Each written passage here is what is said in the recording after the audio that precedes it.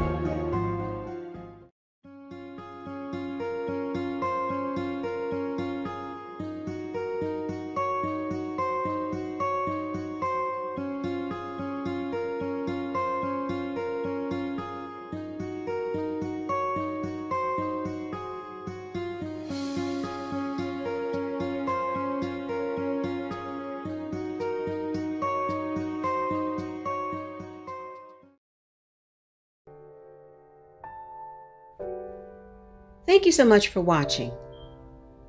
JRC Restoration, Decor, and Designs. And remember, the distance between your dreams and reality is called action. So make it a blessed and productive day, everyone. And until next time, bye bye.